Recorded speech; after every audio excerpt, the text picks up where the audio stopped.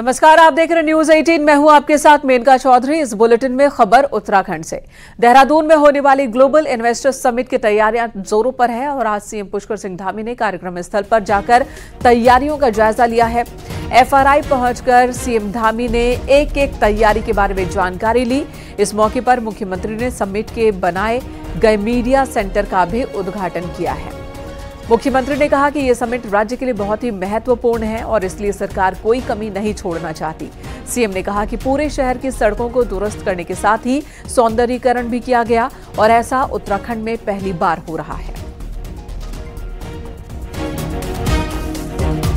राज्य के लाभकारी होंगे, राज्य में रोज़गार देने के लिए जिनकी ज़्यादा प्राथमिकता होगी हम अपने उसमें भी उनको प्राथमिकता देंगे। उत्तराखंड में तो हमारे यहाँ की संस्कृति से वो परिचित हों उसमें सभी प्रकार से यहाँ हमारे इन सभी डिपार्टमेंटों ने यहाँ पर व्यवस्था की है। चाहे पर्यटन डिपार्टमेंट हो हमारा कल्चरल डिपार्टमेंट हो या फ़ूड एंड सिविल सप्लाई हो ये सारा का सारा जो है अलग से इसको स्ट्रक्चर किया गया है। ग्लोबल इन्वेस्टर समिट के लिए करीब 40 से ज़्यादा आईएएस, पीसीएस अफसरों समेत कुल 303 अफसरों को लाइजन अधिकारी के रूप में ज़िम्मेदारी दी गई है। समिट के लिए तकरीबन आठ से दस हज़ार सीटिंग कैपेसिटी का हॉल बनाया गया है, जिसमें अलग अलग कैटेगरी में सीटिंग अरेंजमेंट किए जाएँगे। प्लैटिनम कैटेगरी में प्रधानमंत्री के साथ ही तकरीबन डेढ़ सौ के आसपास बड़े उद्योगपति बैठेंगे। वहीं पंद्रह से ज़्यादा देशों के राजदूत भी इस समिट में शामिल होने आ रहे हैं। न्यूज़ एटीन ने मुख्य हॉल का जायजा लिया। आंकलन किया गया है।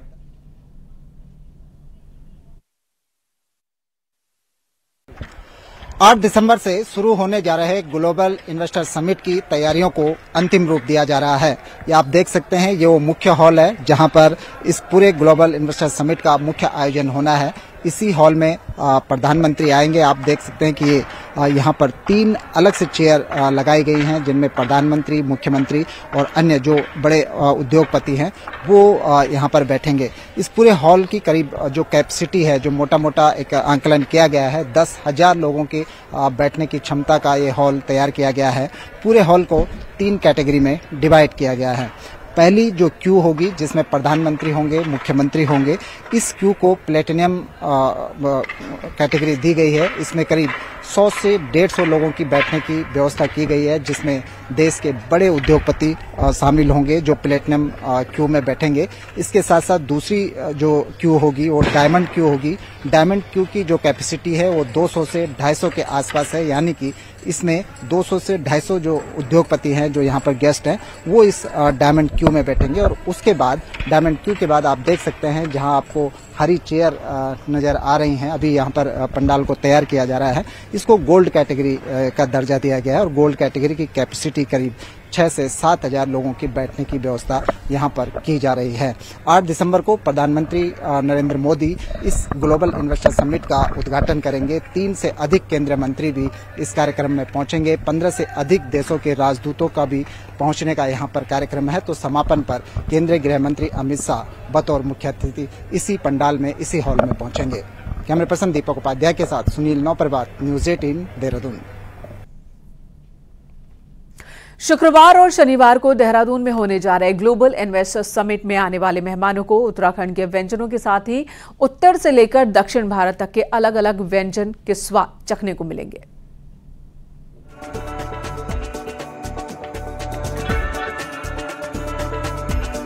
ग्लोबल इन्वेस्टर समिट के लिए देहरादून के एफआरआई कैंपस में अत्याधुनिक टेंट सिटी तैयार की जा रही है, जिसमें देश विदेश के इन्वेस्टर दो दिन तक इन्वेस्टमेंट की दिशा में काम करेंगे।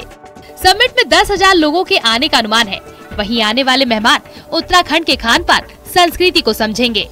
इसीलिए खास तौर पर पहाड़ी खाने की व्यवस्था की जा रही है, जिसके लिए कैंपस को चार जोन में बांटा गया है, जिसमें प्लेटिनियम, डायमंड, गोल्ड और नॉर्मल कैटरिंग दी गई है। जिसमें ब्रेकफास्ट लंच स्नैक्स की भी व्यवस्था रहेगी। मुंबई के फाइव स्टार होटल से कैटरिंग की व्यवस्था की गई है, जबकि पहाड़ी व्यंजनों में मिलेट फ़ूड को मेन्यू का खास हिस्सा बनाया गया है। बाकी सारे क्विजीन के साथ साथ मिलेट का हम लोगों ने ध्यान रखा कि मिलेट के एक दो आइटम रहेंगे।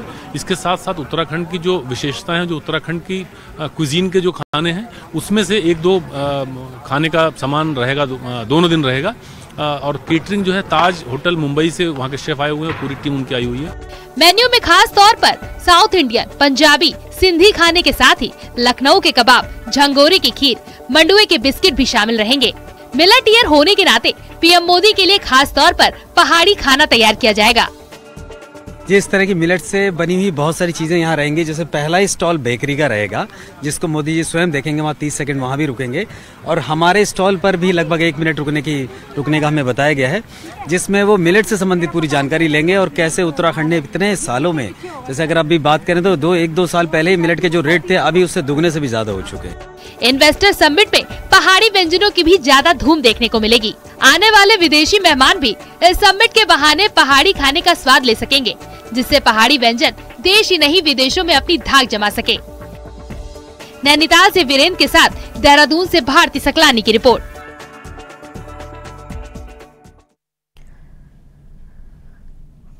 प्रधानमंत्री के उत्तराखंड दौरे को लेकर सुरक्षा के पुख्ता इंतज़ाम किए गए हैं। 8 दिसंबर को देहरादून में होने वाले इन्वेस्टर्स समिट में पीएम मोदी भी पहुँचेंगे, जहाँ एक तरफ़ इन्वेस्टर्स समिट में देश के बड़े उद्योगपति होंगे तो वहीं पीएम के आगमन पर सुरक्षा की व्यवस्था कड़ी कर दी गई है। सुरक्षा के लिहाज से तकरीबन 650 अधिकारी कर्मचारियों पर ज़िम्मेदारी सौंपी जाएगी। इन्वेस्टर्स समिट आठ और नौ दिसंबर को होना है।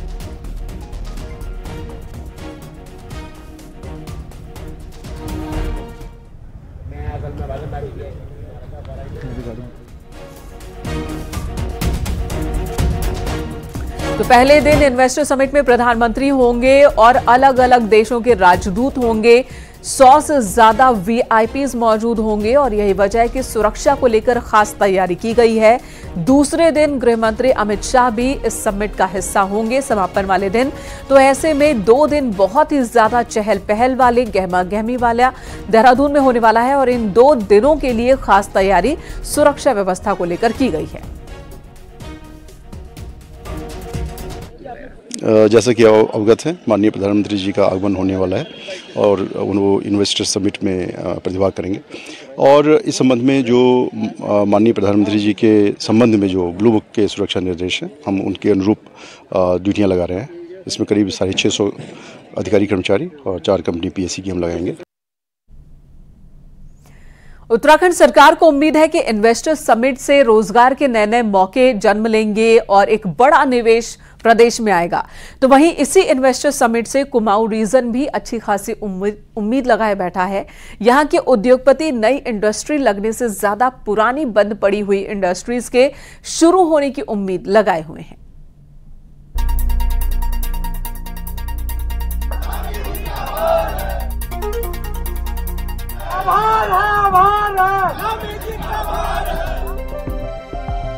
देहरादून में ग्लोबल इन्वेस्टर समिट की तैयारियाँ अंतिम चरण में है। लेकिन इस इन्वेस्टमेंट समिट से जहाँ नए उद्योग खुलने की उम्मीद है, वहीं पुराने बंद पड़े उद्योगों के फिर से शुरू होने की भी उम्मीद जगी है। ऐसे में कुमाऊं की एचएमटी फैक्ट्री की जगह भी कुछ नया उद्योग शुरू करने की मांग उठने लगी है। एचएमटी का बंद होना दुर्भाग्यपूर्ण है क्योंकि एक तिवारी जी की एक आ, सोच थी।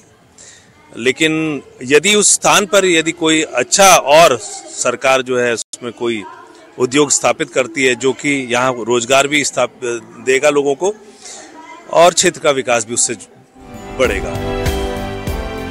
ज़ाहिर है इन्वेस्टर्स समिट में हिस्सा लेने के लिए देश विदेश से कई बड़े उद्योगपति पहुँच रहे हैं। साथ ही प्रधानमंत्री नरेंद्र मोदी के पहुँचने से भी इन्वेस्टमेंट समिट बड़ा हो चला है।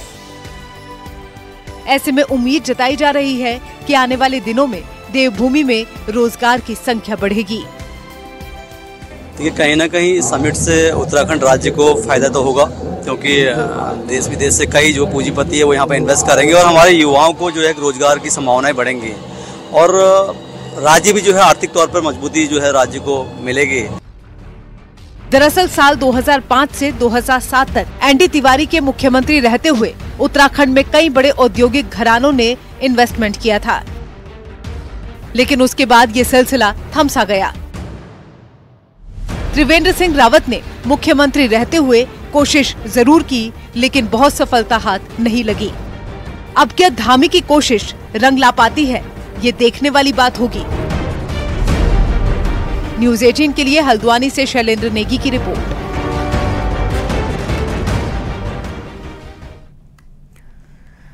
और अब देहरादून से खबर, जहाँ वित्त विभाग के आदेशों की धज्जियाँ उड़ाई जा रही हैं। दरअसल निर्धारित मानदेय से ज़्यादा सैलरी संविदा कर्मी को दिए जा रहे हैं। नियम के खिलाफ मन माफिक सैलरी कई विभाग दे रहे हैं। उद्यान, यूपीसीएल, आईटीडीए, महिला सशक्तिकरण के साथ ही तकरीबन 10 विभाग ऐसे हैं जहाँ पर तय वेतन से ज़्यादा वेतन दिया जा रहा है। तीन विभाग स्वीकृत मानदेय से भी कम सैलरी दे रहे हैं। ये विभाग अपनी मर्ज़ी से संविदा कर्मचारियों की तैनाती करते हैं और फिर मनमानी सैलरी देते हैं। राजकोष पर अब इससे घाटा बढ़ गया है। शासन ने संविदा कर्मचारियों के मानदेय और नियुक्ति को लेकर एक गाइडलाइन बनाई हुई है। बावजूद इसके, इस गाइडलाइन का पालन कई विभागों की ओर से नहीं हो रहा है। विभाग है। जो शासनादेश के तहत मानदेय और पद रखते हैं तो उस पर जो हमें जवाब आया कई सारे विभाग दस से अधिक विभाग ऐसे हैं जो कि उपनल के शासनादेश से इतर वेतनमान भी दे रहे हैं पद भी रख रहे हैं। और कई सारे विभागों में उपनल के कर्मचारियों को नियमित भी किया गया है समान वेतन भी दिया जा रहा है विभागीय संविधा पे भी लिया गया, लिया गया है। टिहरी गढ़वाल से लापता हुई दो लड़कियों को तीन महीने बाद श्रीनगर पुलिस ने तलाश लिया। श्रीनगर बाज़ार से लापता हो गई थी ये लड़कियाँ। हरिद्वार और हरियाणा से इन्हें सकुशल बरामद किया गया है। दोनों ही लड़कियाँ टिहरी गढ़वाल की रहने वाली हैं। बीते 27 अगस्त से श्रीनगर बाज़ार से ये लापता हैं। रुद्रप्रयाग का एक युवक इन दोनों को बहला फुसलाकर श्रीनगर से अपने साथ ले गया था। आरोपी युवक अभी भी फरार है।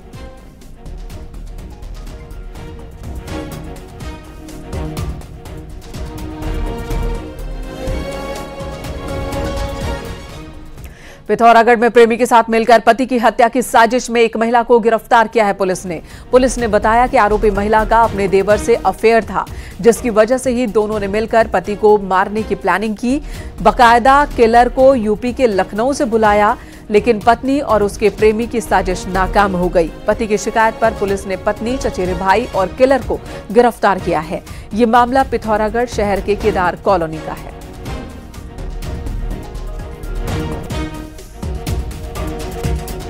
इन्वेस्टिगेशन में ये तथ्य पाए गए कि जो वादी है, उसी की पत्नी का उसी के कज़न ब्रदर के साथ एक्स्ट्रा मैरिटल अफेयर था जिसमें पुलिस के द्वारा महिला और जो दो अन्य अभियुक्त हैं उन दोनों को गिरफ़्तार किया गया है। इधर कोटद्वार के देवी रोड पर तड़ियाल चौक के पास भयानक सड़क हादसा हुआ और हादसे में तीन गाड़ियों की आपस में भिड़ंत हो गई। चार लोग बुरी तरह से जख्मी हो गए।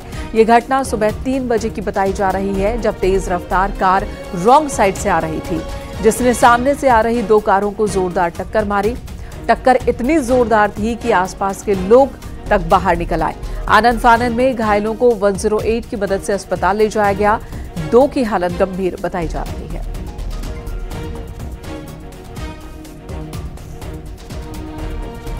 हरिद्वार में अवैध रूप से चल रहे प्लास्टिक के गोदाम पर कार्रवाई की गई। प्रदूषण नियंत्रण बोर्ड और प्रशासन के अधिकारियों ने सलेमपुर स्थित प्लास्टिक के गोदाम में छापेमारी की और अवैध रूप से चल रहे पाँच गोदामों को सील कर दिया। तहसीलदार के नेतृत्व में की गई छापेमारी से गोदाम संचालकों में हड़कम मच गया। इन सभी गोदामों में मशीनों से प्लास्टिक स्क्रैप का इकट्ठा कर अवैध रूप से उसके बंडल बनाए जा रहे थे।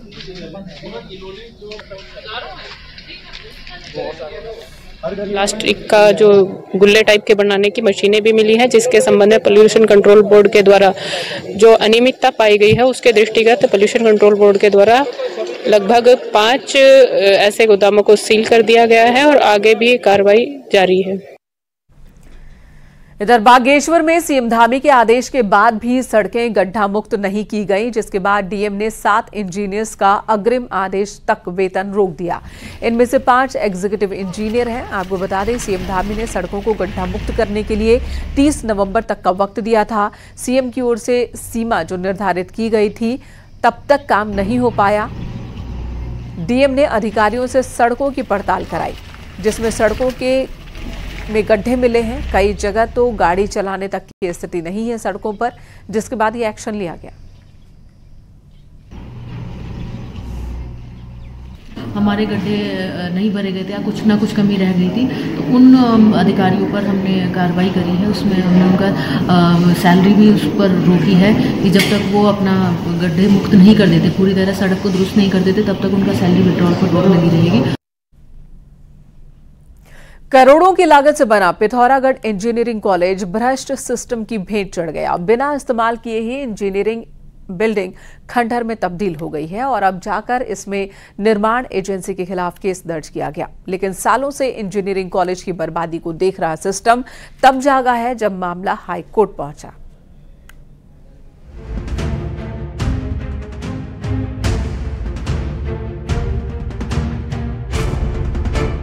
सात साल की लंबी जद्दोजहद के बाद मड़ में सीमांत इंजीनियरिंग कॉलेज की बिल्डिंग तैयार हो पाई। लेकिन हैरानी इस बात की है कि 18 करोड़ की लागत से बनी ये बिल्डिंग यूज़ होने से पहले ही खंडहर में तब्दील हो गई।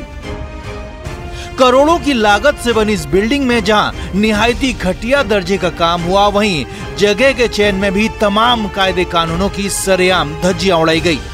यूपी निर्माण निगम की बनाई ये बिल्डिंग आधे से ज़्यादा मलबे में पटी है। और यही नहीं, इसके चारों तरफ़ भारी लैंडस्लाइड भी हुआ है।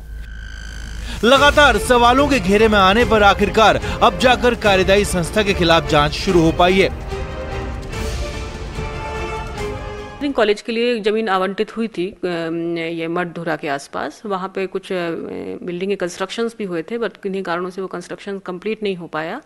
और जिसकी जाँच भी की जा की गई है, और उसमें जो दोषी हैं, उनके अगेंस्ट कार्रवाई भी की जा रही है।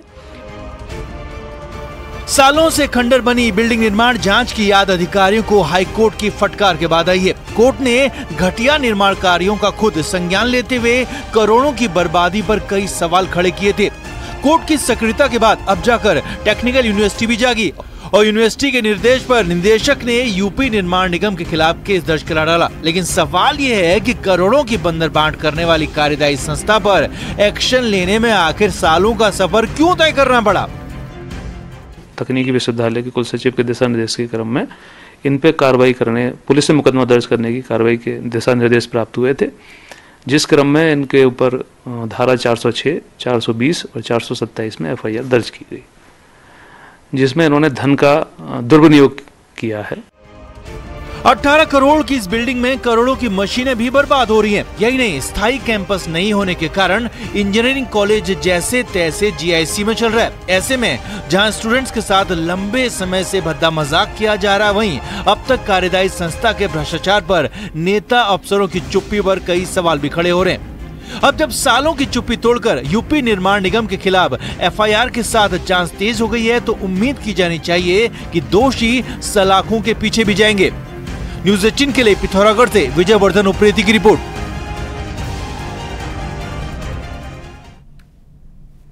और आगे बढ़े, इससे पहले पहाड़ की 10 बड़ी खबरों पर नज़र डालते हैं पहाड़ टॉप 10 में।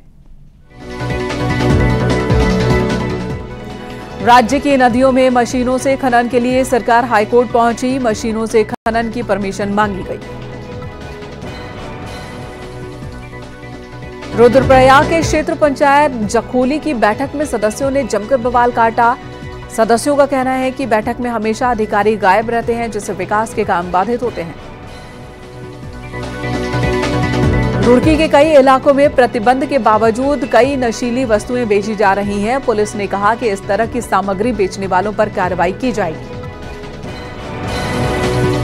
राज्य की अदालतों में सांसद विधायकों पर दर्ज केसेस की जल्द सुनवाई के लिए हाईकोर्ट ने राज्य सरकार से दो हफ़्ते में केसेस की जानकारी मांगी।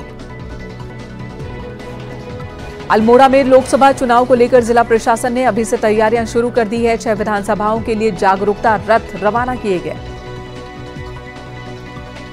बागेश्वर में युवा कल्याण विभाग ने जिला स्तरीय युवा महोत्सव का आयोजन किया, जिसमें छोलिया डांस की सभी ने तारीफ़ की।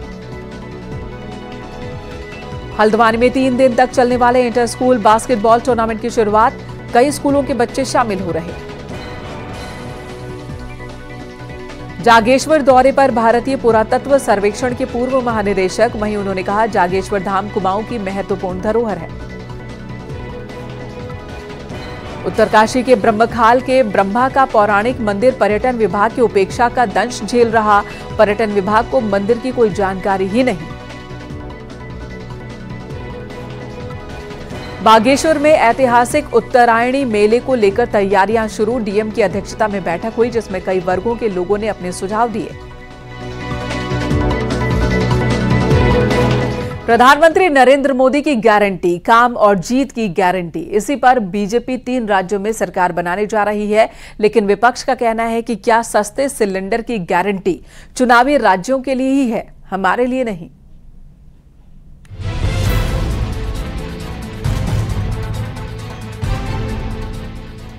प्रधानमंत्री नरेंद्र मोदी का नाम जीत की गारंटी है और प्रधानमंत्री नरेंद्र मोदी का काम जीत की गारंटी है। राजस्थान मध्य प्रदेश छत्तीसगढ़ में जीत के साथ ये बात साबित हो चुकी है। उम्मीद यही है कि सरकार बनने के साथ बीजेपी सस्ते सिलेंडर का वादा पूरा करेगी और नौ सौ रूपए का मिल रहा गैस सिलेंडर चार सौ 450 से 500 रूपए का मिलेगा। सिलेंडर की कीमत में आधे के अंतर पर विपक्ष ने सवाल खड़े किए हैं। छत्तीसगढ़ में कांग्रेस के सीनियर ऑब्जर्वर प्रीतम सिंह के मुताबिक क्या प्रधानमंत्री की गारंटी चुनावी राज्यों में ही मिलेगी? बाकी सबका क्या होगा? प्रीतम सिंह ने कहा कि प्रधानमंत्री देश के हैं, इसीलिए महँगाई में इस गारंटी का फ़ायदा सबको मिलना चाहिए पर बीजेपी ऐसा करेगी नहीं। मोदी की गारंटी मीन्स प्रधानमंत्री की गारंटी। और जो गारंटी होती है वो एक राज्य के लिए नहीं होती है बल्कि देश के परिप्रेक्ष्य में होती है। और आज हम कहना चाहते हैं कि भाई अगर मोदी की गारंटी के तहत जिन चार राज्यों में चुनाव हुआ उन चार राज्यों में तो गैस का सिलेंडर 500 में मिलेगा। और देश के अन्य राज्यों में क्या होगा? तो प्रधानमंत्री जब कोई बात कहता है, देश के परिप्रेक्ष्य में कहता है। गैस सिलेंडर हर चुनाव में मुद्दा बनता है और हर घर में काम आने वाले गैस सिलेंडर की कीमत सीधे जेब पर असर डालती है। 2022 के विधानसभा चुनाव में पाँच सौ रूपए में सिलेंडर देने का वादा कांग्रेस ने किया था। लेकिन बात नहीं बनी। ऐसे में जिस गारंटी का फ़ायदा तीन राज्यों को मिलेगा वही गारंटी कांग्रेस उत्तराखंड में भी चाहती है जहाँ डबल इंजन की सरकार है। तो चुनाव भी आने वाले हैं और चुनाव से पहले अभी भी फ़िलहाल पहले मान माननीय प्रधानमंत्री जी ने सिलेंडर सस्ता किया है दो सौ रुपये सस्ता किया है ये बहुत बड़ी बात है। और आगे भी जितना कर सकते हैं वो करेंगे मोदी जी। विश्वास है हम हमको माननीय मोदी जी पर। देश में अगला चुनाव लोकसभा चुनाव है। इसमें उत्तराखंड में बीजेपी जहाँ प्रधानमंत्री नरेंद्र मोदी के वादों और काम की गारंटी को भुनाना चाहती है वहीं विपक्ष की कोशिश सस्ते सिलेंडर की डिमांड करके डबल इंजन की सरकार को घेरने की है। Deepankar Bhatt, news eighteen, Dehradun.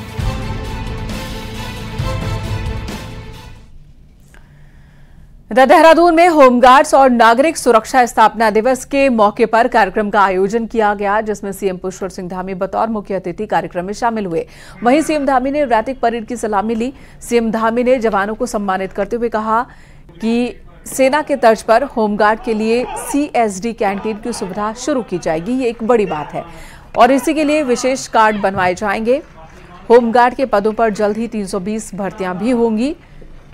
इसी के साथ होमगार्ड को ट्रेनिंग के लिए प्रेमनगर में फायरिंग रेंज बनाया जाएगा और बड़ी संख्या में मोटरसाइकिल की खरीद की जाएगी। उच्च हिमालयी क्षेत्रों में ड्यूटी पर प्रोत्साहन राशि दी जाएगी और रेस्क्यू सेंटर और हॉस्टल का निर्माण किया जाएगा।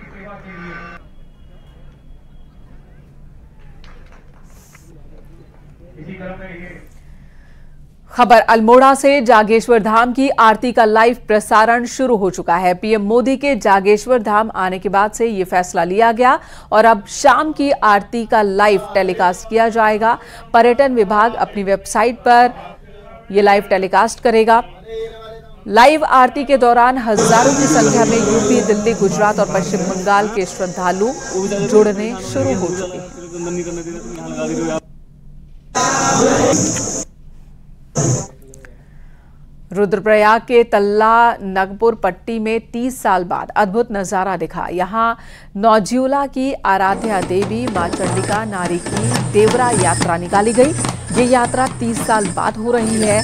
गांव-गांव में देवी भ्रमण के दौरान भक्तों को सुख समृद्धि का आशीर्वाद दे रही हैं। माँ भगवती तकरीबन सात महीने तक देवरा यात्रा में रहेंगी और चारों दिशाओं के गाँव में भ्रमण करेंगी और इस दौरान भक्त जनों के घर घर जाकर उन्हें आशीर्वाद भी देंगी। तकरीबन 30 साल बाद ये यात्रा हो रही है, जिससे इलाके में लोगों में काफ़ी खुशी है।